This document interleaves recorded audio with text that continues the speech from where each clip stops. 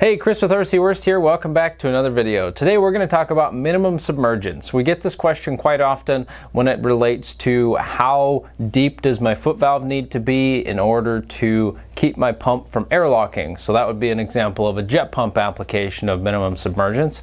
But minimum submergence applies across the board to all types of pumps. If you're dealing with a submersible pump, such as a sewage pump, um, or a dewatering pump, a sump pump, so on and so forth, it applies to well pumps and submersible turbine pumps. So pretty much any pump where you're, um, I said pump a lot of times there, anytime that you're drawing uh, water down, in the pump is in the water or the suction line is in the water, then you've got the risk of sucking air from the surface if you're not drawing the water at a, a reasonable depth. So there's a basic formula to figure out what minimum submergence is needed to prevent that from happening. Now, there's a variety of other factors that influence the pump's ability or the equipment's ability to be able to suck air. For example, if you're drawing water through a foot valve, you've got that screened area, which is actually going to help to decrease the submergence required because that screen kind of breaks up if you were to get air coming into that screen. That screen helps to break that up so it doesn't occur as easily. Um, but this is a good baseline or a good reference for um, a, determining roughly where you should be, even though it isn't going to be exact depending on the situation. Another thing to keep in mind, for example, on water pumps where you're pumping water into a home for uh, potable use, uh, the deeper generally you can go with your submergence, the cleaner the water is going to be. I think in most cases, if you're getting below 30 or 40 foot depth on your suction, then you're going to have a lot less likelihood of bacteria that, that require sunlight and so forth. Um, so don't use this as a benchmark for where to put your pump or um, where to put your suction line, specifically because the deeper you can go, the better. But this at least allows you to verify whether you're meeting the minimum in those situations where you don't have the depth to make sure that you're not going to suck air and potentially cause damage to the pump. So enough rambling about that. Let's talk about this formula.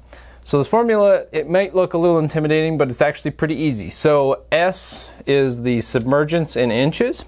D is the bell diameter, which would be your pipe diameter, or in the case that you've got a submersible like sewage pump, you'd be measuring the in, the intake size on it, so those can vary depending on the pump.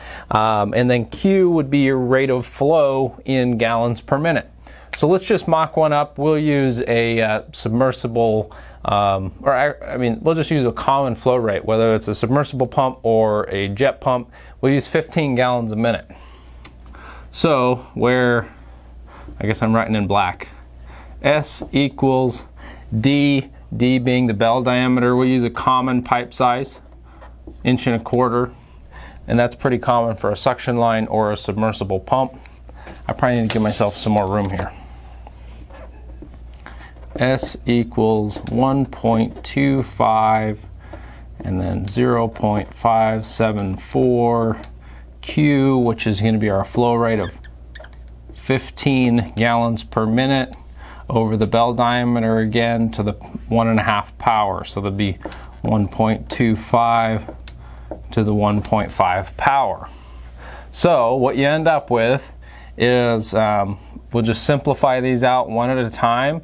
So 0.574 times 15, you get 8.61 over 1.25 to the one and a half power.